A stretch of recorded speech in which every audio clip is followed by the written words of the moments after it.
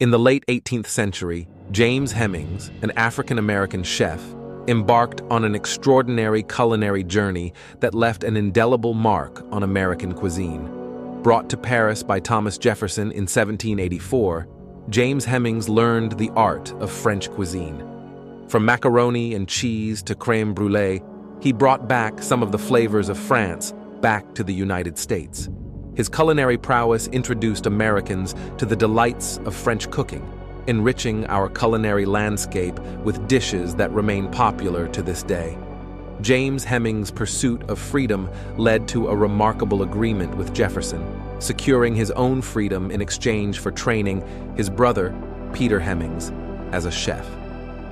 Amidst his culinary achievements, his sister, Sally Hemings, had a complex relationship with Thomas Jefferson, reflecting the challenging dynamics of their time. James Hemings' legacy endures in the dishes Americans enjoy every day, reminding us of his resilience, talent, and determination. Please like, share, and subscribe for more captivating stories from history.